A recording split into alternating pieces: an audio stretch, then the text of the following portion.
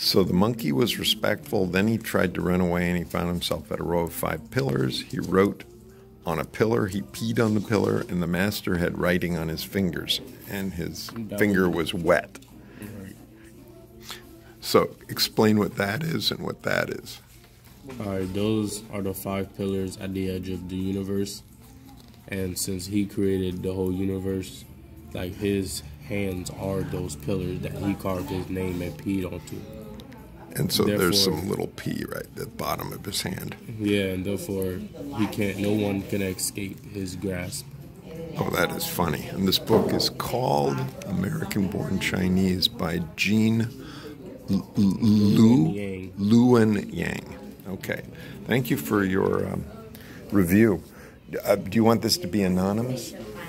or do you want to have your name on it? It don't matter. It doesn't? Oh, do you want to have your face on it? No, okay. All right. So this is a uh, review done at Sunfire High School.